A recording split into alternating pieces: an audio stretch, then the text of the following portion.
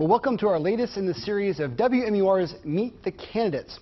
Uh, I'm your host, James Pindell. Our guest this time is Marilinda Garcia, a Republican running for Congress in the 2nd Congressional District, which is basically the western and northern portions of the state. Marilinda, thanks so much for coming in. Thank you for having me. Now, over the course of the next 30 minutes, we're going to get a sense of who Marilinda is, where she's coming from on particular issues, maybe flesh out some of the issues a little bit, but it's a bit more of a chance to step back and get to know you. So uh, I want to start with the most basic of questions. Uh, where do you live? I live in Salem, New Hampshire. Yep. I was born in Boston. My family moved there when I was about five, and I've lived there ever since. And you live with your parents, is that right? I do. And your sister? And my sister, and as of August, when my brother uh, went to Andrews Air Force Base, he's an Air Force captain and anesthesiologist, he lived with us as well. And my great aunt, who's 93 and had dementia, we all take care of her. And then my, uh, my aunt and my cousin, when my uncle was in Iraq for a year, he lived with us, and my mom's cousin. We're Italian and Latino, so this is the way we roll. So, That, so how, yeah, has that, at the home. how has that experience shape you? I mean, more there's more multi-generational houses right now Mm-hmm. than I think we've had in, in generations. So, I mean, but how has this shaped you?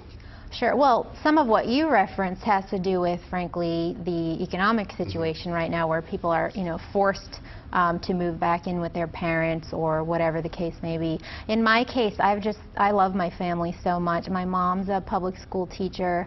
My dad is a small business owner. And aside from all the other, you know, people that are in and around that I've described, we're just very close and, you know, we help each other pool our resources, help each other, you know, pursue what are our various dreams, and um, you know, and have a great time while we're doing it. So I, I love my family, and they're such a blessing to You ever me. had any inclination to get your own place yet and all well, that? sure. I've actually traveled to about 25 to 30 countries Wow. doing various things. I've obviously gone to college and grad school. Um, I've been in the car a lot, that's for sure, on a lot of planes through the years. Um, but and I'm actually getting married. Um, Congratulations. yeah, so obviously, you know, there'll be some changes in the future, but Oh, he's I'm not really move in with grateful. you at the house? Well, he just may. You know, who knows? He's also Greek and Italian, so it's fine. Um, well, yeah, we'll we'll work it out, see what's happening, and you know, I'm sure at some point we'd love to live the American dream Mm-hmm. and you know have a home and kids and all that good stuff.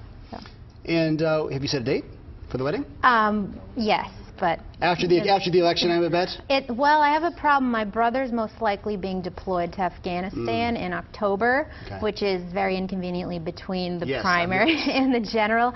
So we do have to find a weekend this summer that that's going to be happening. You so are a done that. very busy person Yeah. this, this next, couple months. Well, they say, you know, running for office and uh, planning a wedding are two of the most stressful things one could do, so I decided why not combine them all into a year. 2014 is the So, year. Yeah. The other interesting fact about you is you're an accomplished uh, harpist.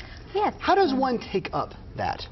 School? Is it how's it how's it work? Sure. Well, in my case, um, I started off on the piano, um, as did my older brother uh, that I'm very close to. My mom just wanted us to be well-rounded. We did swim team, you know, uh, various other youth sports. Obviously, studied hard in school, and then uh, pursued some sort of musical instrument. So I started on the piano, but my older brother's better than me, so I quickly quickly wanted to find something else. So when I was about 11, I saw a picture of a harp, and I was just really taken by it and wanted to start that. So um, yeah, it's been a, a wonderful journey. Um, I do have a degree from New England Conservatory of Music and Tufts University. I did a joint program there, and I teach at Phillips Exeter. Have been doing so for a number of years, and uh, otherwise, my sister and I actually play music together. We've toured many, you know, foreign countries, she play? and she plays the flute. Mhm. Yeah. So anyway, it's it's been wonderful. Music is frankly, you know, something that is able, uh, it, you know, it has technical, mathematical, emotional, spiritual, you know, components, and it's really something that brings people together and can also has has the power to move people too. So it's been great. It's really wonderful. Um, I love music, obviously, love the arts, and the harp is obviously a rather unique instrument. But I really, it, you can't make it sound bad. That's the good. I was gonna ask you about that. yeah. when you drive around, do you listen to classical music or do you listen to Um, thing- something more contemporary? I honestly listen to, I like all sorts of music. Um, at the end of the day, all harmonies, all rhythms, they're all found, you know, be it Beethoven, Shostakovich, Justin Bieber, you know, whatever the case Ah, may be, uh, Usher, you know, Yeah. it's all in there. Um, there are only, you know, so many, so many chords, so many notes, so many rhythms, and so it's just amazing that the power of human creativity and inspiration can take that, um, you know, underlying structure and create just song after song after song in all these different genres. So. And you said, and you do teach uh, the harp. Yes, What's yes. the difference between a really good harpist and an excellent one? Um, with music, what happens is uh, you need technical expertise, but you also need that um, communication component and that artistry. So a lot of times you could have someone that's technically very uh, skilled.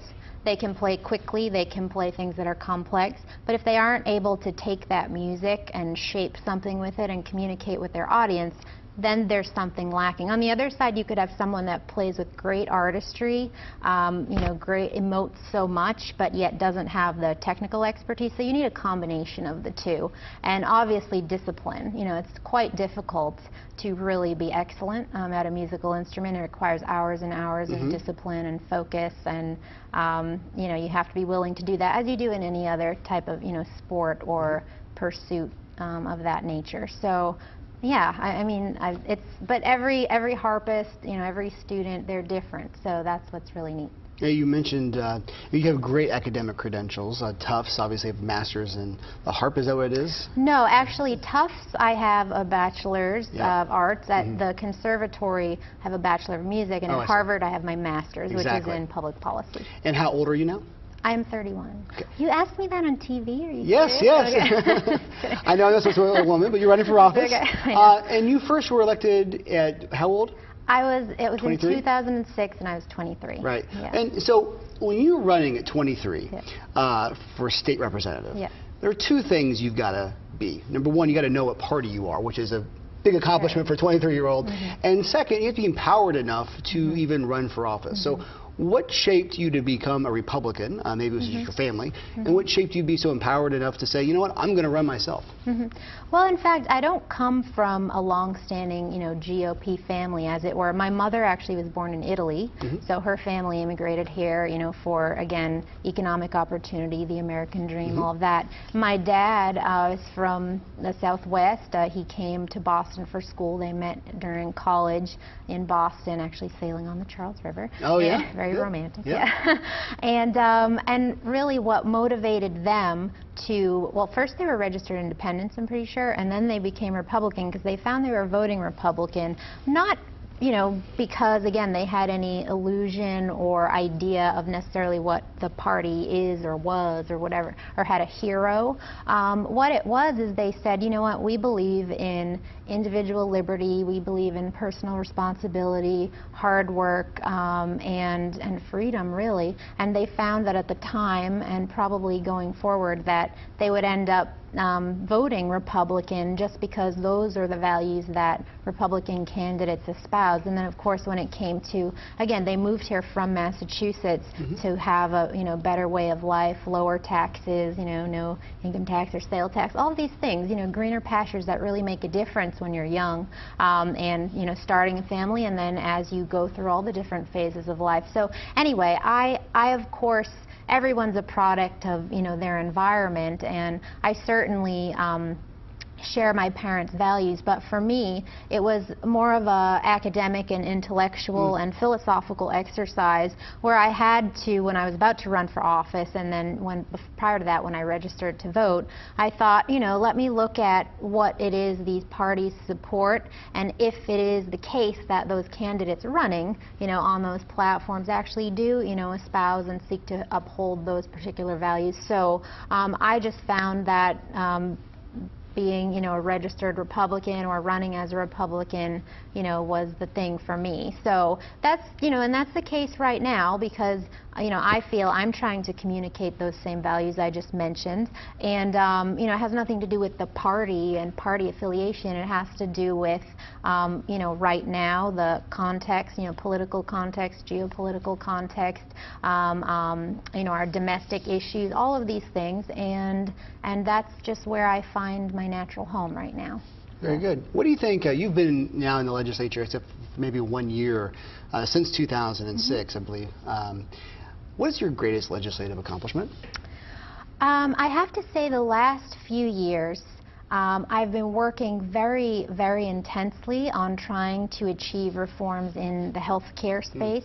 Mm. Um, and really, I've been trying to allow for a more consumer-oriented healthcare ecosystem in our state. Also, um, regulatory reform to open the economy and, you know, actually allow for job creation and better health care for more people at a lower cost. And one particular area of that has been trying to most, more closely link the dollar and quality mm -hmm. in healthcare because that's very opaque opaque right now. Yes. You know, doctors don't necessarily know how much it is they're charging for things. Consumers, you know, if you just want some sort of assessment or estimate, it's really hard to come by at a lot of, you know, various hospitals. And um, so anyway, so I've been working on pricing transparency. It's been a very interesting process, but I think the point is that um, being, you know, active in the state and the state legislature amongst my colleagues with, you know, professionals, community leaders, um, those in medicine, um, in the state, we're able to understand, you know, what are our specific problems and challenges, and then try to address those things.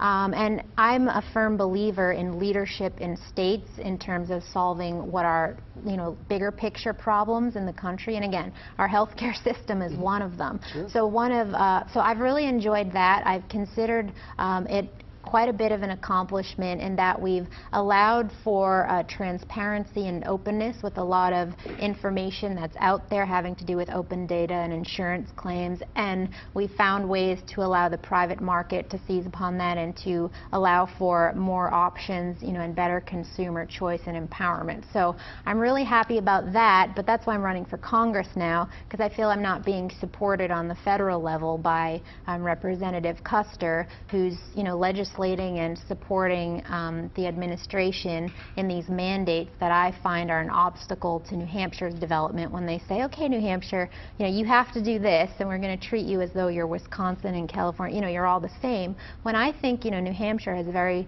specific needs and specific um, challenges and problems, and I've been trying to work on solutions Now, I'll grant you, when you're a state representative, you're not authoring bills that name bridges after people. You're taking on mm -hmm. this mm-hmm. big huge sure. item, and you said you're working towards it. Is there anything you can point to to say, you know what, we have changed something and it was this because I led? Yeah, um, one bill had to do with the fact that um, we were no longer going to allow for uninsured people to be charged more than the lowest negotiated rate um, as those with mm -hmm. insurance. So that was something.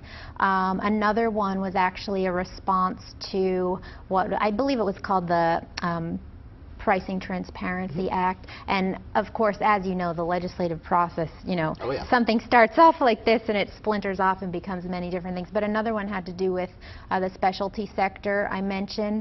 Um, we have sort of a monopolistic structure that was a result from um, a federal mandate in the 1980s that basically allows for um, existing institutions in the state to kind of protect their turf, which in some cases is not a problem, but in other cases is. So when I'm someone who's seeking to, again, allow the economy to develop and allow for better options for people, particularly when they're facing life-threatening illnesses, I was really proud to actually be able to achieve um, regulatory reform when it came to what was called the Certificate of Need Board. Yeah. And of course, in the past few years, it's bounced back and forth, but it, we did actually well, Let me be blunt about this. You're being humble about it. You took on big hospitals. Yeah. And why was that your cause?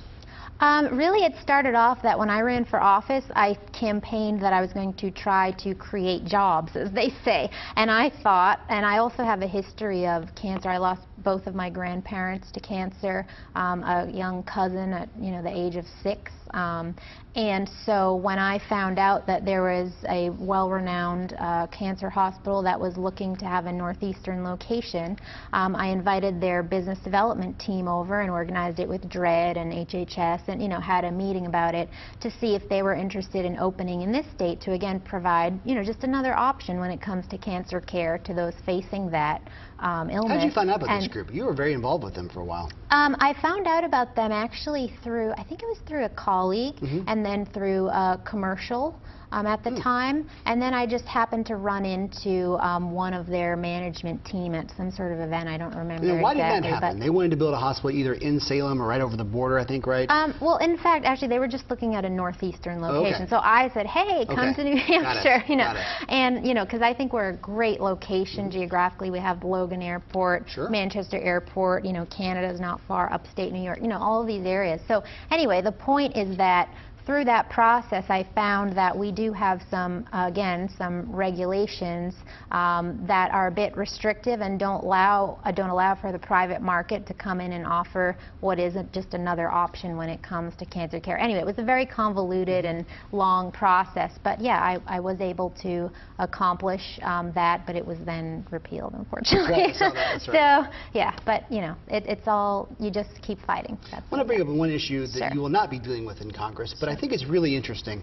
Uh, your stance on expanded gambling, Mm-hmm. because your community has one very strong position, Mm-hmm. uh, they're for it, uh, and you don't. You are not for, I mean, you have a strong position, you're not Mm-hmm. for it. Um, so when you're elected, if you're elected uh, to, to Congress, Mm-hmm. do you see your role as um, taking the cues Mm-hmm. from the district and what the district wants, or do you see yourself as a representative who Mm-hmm. will go in, look at the facts, and make up your own mind?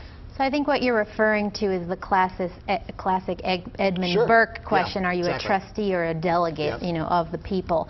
And so I feel as though if in my campaign I offer to them what my position or inclination on an issue is, um, based upon, of course, my judgment and my underlying philosophy of governance and principles, then at that point, you know, when there's an issue or a vote, of course I give it, you know, strong uh, scrutiny. I, you know, allow for the discussion. I take in all information. I do critical analysis. All of these things, you know, that I, you know, I'm blessed to have at my disposal in terms of a sound mind and I hope good judgment. But at the end of the day, uh, what you do find is that if I was elected um, with people knowing, because I had said in my campaign that I was going to do a certain thing, then I feel as though, in fact, it would be a betrayal to those that did elect me um, if I were to change my opinion just because the, suddenly there's a vocal group of people that really want to push me in another direction. I think that's where you end up with politicians being, you know, flip-floppers and, you know, uh, not being consistent and all of these things. And of course, you know, context is everything. And um, sometimes there are situations that arise that, you know, would cause one. So I think you have to be you have to explain yourself, of course, if you're going to take a different tack. But on this c- issue in particular, you know, I do have an opinion. I expressed that in all my campaigns. I was elected on that premise, and frankly, you know, some some of the statistics and percentages of support and whatnot are slightly um, not exactly what they seem to be in many instances. But at the end of the day, you know, I respect uh, you know people that contact me, especially when it's in a respectful manner, Sure. not you know some nasty letters and all of that that I get. That's never pleasant. But um, at the end of the day, I, I don't think I can betray you know those that frankly don't want expanded gaming in the state because that's at, at the end of the day what I said I was running on, you know, at the beginning when I ran. So, so part of the knock on Yeah. your youth is that Yeah. you have not had the life experiences that some people have. You might not, might not be able to relate uh, to some uh, folks' experience. What's the flip side? What's the upside for voters for your for your age? Well, I have Why, a- why should they send someone younger to Congress? I have a different perspective on things, of course. You know that that's life, right? Um, I also am very invested in trying to solve, you know, and take a crack at what are very serious issues, you know, facing our country that frankly have been ongoing and escalating and expanding in the past number of decades. So, You're talking about um, entitlements or? well, uh, look, how many, I mean, how many challenges do we have, right? I mean, again, there's our healthcare system, there's our debt, there's entitlement reform for sure, there's, you know, international issues, all of this. And so I've, I've always been one to think that the broader array of perspectives um, and backgrounds that there are to tackle an issue, the better, right? You know, that's how you are innovative, how, you know, you find uh, consensus in, in, frankly, a way that maybe isn't what people are totally used to or knee-jerk reactions, all of these things. Um, I also, frankly, don't have uh, long-standing um, I guess you could say relationships with, with particular lobbies or groups Mm-hmm. or this, that, and the other. So I'm not really beholden to anybody. I'm really running because I love this country. I think that it's exceptional. And as we said at the beginning, I'd love to live here, you know, and live that American dream and see our country prosper and be, um, you know, what it is, you know, a symbol, a light on the hill, as it has been for so many uh, people to so many uh, generations for. Um, time immemorial, one could say, you know, as long as our country's existed. So, yeah, I mean, I, look, you have options, right? That's why we have elections, that's why we have primaries. So, I'm just putting myself out there and if you feel as though I would be, and this is of course to the people Yes, out there, yes, so, yes. or you if you Sure, live in my sure. district, um, you know, I, I I like to tell you, you know, what, to the best of my ability, what I would do when I'm in Congress and, you know, what my beliefs and, again, uh, governance philosophies are. And um, if you feel as though I'd be a voice for you, I would love to represent you, and that would be an honor. Uh, so, uh, we've talked about a couple of issues here. Mm-hmm. Uh, some people will be watching this interview a couple weeks before the election, not Mm-hmm. just now. Uh, what do you think is what's your what's the biggest issue in this campaign?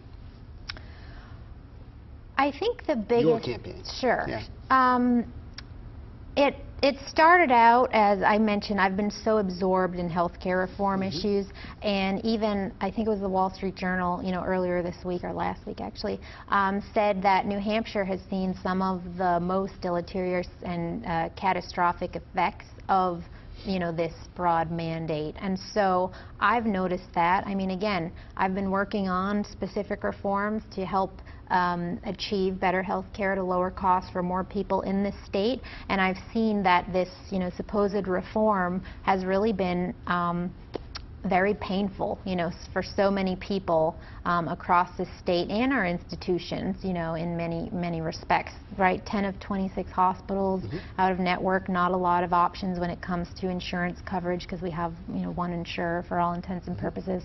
And um, so I, I would just want with every vote uh, that I would take in Congress, aside from trying to, you know, dismantle the worst parts of this, you know, broad federal mandate, would be to be voting in such a way that empowers New Hampshire citizens and, you know, New Hampshire community leaders and business leaders and, you know, all of those uh, people that are working to make this state better and have better quality of life um, for so many. So I would be voting in such a way that prevents the federal government from being an obstacle to our development. That's what I see. So, shorter version of that is you're running to repeal Obamacare.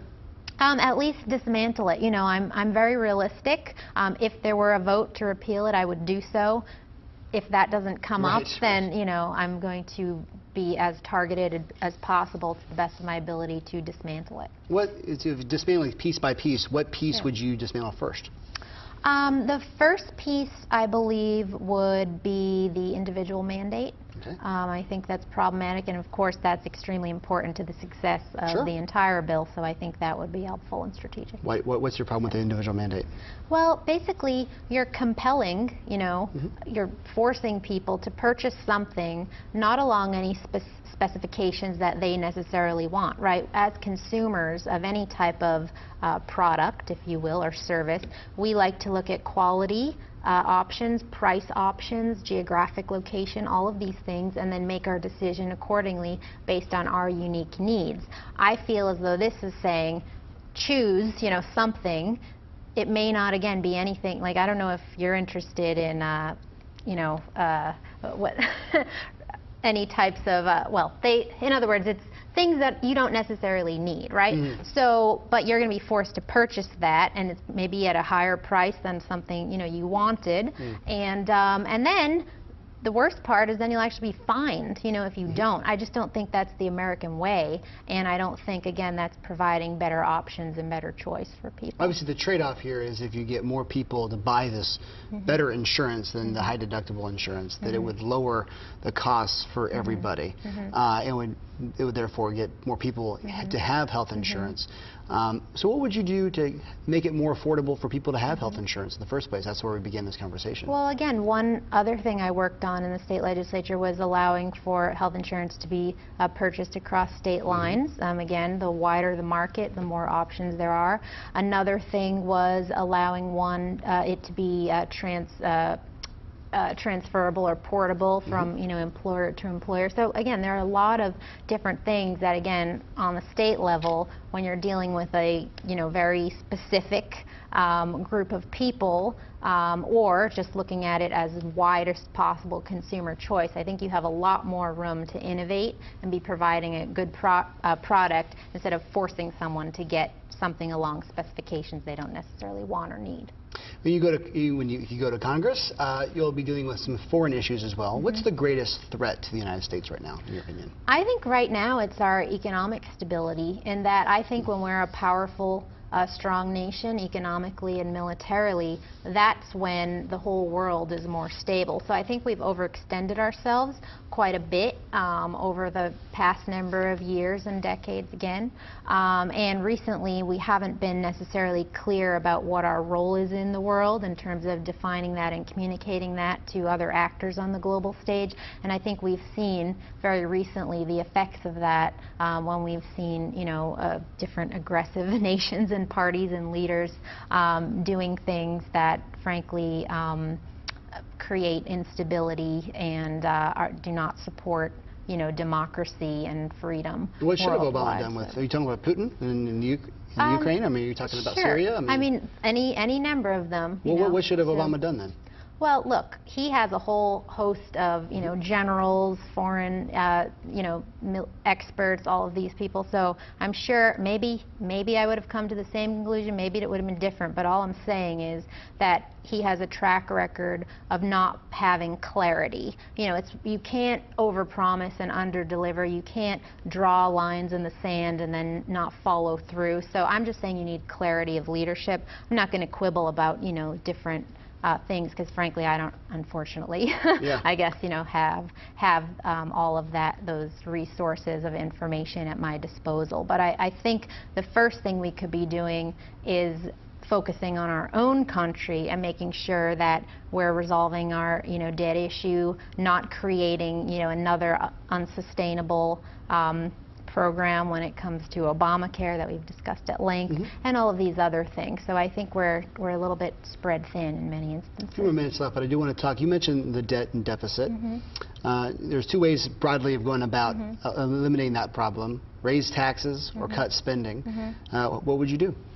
I would cut spending. Um, one thing I've learned um, during my time in the legislature and sitting on the finance committee is that when you're confronted with uh, a financial crisis, um, you really can be looking for ways to make sure that we are, as a state and as elected officials, being good stewards of the taxpayer resources, because that's that's what we're here to do, uh, making sure things run smoothly and efficiently. And in our state, we have a great process by which it's very transparent. You know, we sit there, the different um, agencies and commissioners, you know, they come forward and we look at their budgets and we just try to make sure that, again, we're using every dollar of yours um, and mine and everyone else's um, as as cleanly and efficiently as possible. And I think the process has gone awry um, in Washington, and um, you know that would be one area that I would I But would you know this, right? You can talk about cutting spending, and Sure. Mm-hmm. we've heard different candidates through the years talk about eliminating different departments, like the Department of Energy or the Department Mm-hmm. of Education. That may be philosophical, but about 70% Mm-hmm. of the national budget is either defense, Social Security, Mm-hmm. Medicare, Medicaid, or interest on the debt. Those are the four Mm-hmm. major areas you've got to go if you want to really want to make big changes. So you can't do anything about the interest in the debt. Mm-hmm. Right. So which one of those would you tackle? Well, again, there are there are parts of all of them. I think all of it has to be looked at, and you have to be looking at what are we doing in all of those different areas. Look, we had an $800 million hole in this state. We're a very small state. We don't have a huge budget. We were able to balance our budget. Why? Because we had the will to do so, and um, you know we made the tough decisions necessary. So that's the attitude you have to take. So I can already hear Democrats in my ear saying she's willing to cut Social Security, willing to cut." Medicare, well, they've already been Medicaid. saying that. Is so, that, is that you know.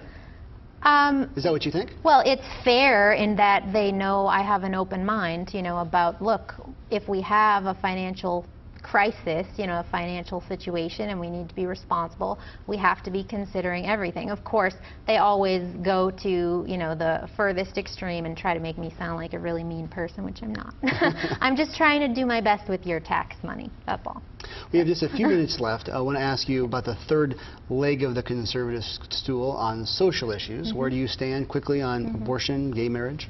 I have a very clear, you know, voting record. Anybody anybody is welcome to access that, and so I, I have voted pro-life. I am pro-life, and I also voted to support traditional marriage, as I said I would do in my campaign. But at the end of the day, I, I think a lot of things, especially these issues, um, are best dealt with at the state level. So I support the 10th Amendment on that one. hmm Last question for you. What is there? Has there been a? a I'm not going to ask you for your favorite moment because that's hard to do. Oh. Has there been a moment that you remember in this campaign so far that's been something that's been really enjoyable that you said, you know what, either enjoyable or just memorable, maybe not so enjoyable that uh, you said, you know what, this is this is what Do you mean including this right now? Yeah. Okay. Well, obviously this is your No. favorite moment. no, um, I have to say it can be very um, taxing and you know tiring running around to event to event and uh, you know meeting to meeting, and uh, you know sometimes it's like oh gosh you know I wish I could just have the evening off or whatever the case may be. But I have to say once I'm there, um, it's so wonderful you know to talk to people, um, hear about you know the changes they'd like to see on the federal level, and then just get feedback from them, especially if they're inclined to be supportive and when they say, you know, things that are encouraging, you know, saying that I really appreciate you stepping out there, I, you represent me, you know, I'd love to see your voice um, in Congress on these issues. I mean, it's very, it's inspiring, it's humbling, and you know, there are there are lots of fun moments in between. Actually, I would have trouble picking one, but I really love meeting people, and I hope to really, you know, can, I will be continuing to do that as this campaign rolls along. But you know, everyone has such a great story. I've learned so much. You know, from all of them, and I really enjoy meeting as many as possible. Well, Marilinda Garcia, Republican running in the second congressional district. Thanks so much for coming on. Thanks for having me. I appreciate and have it. fun out there. I will. And thank you for watching WMUR.com.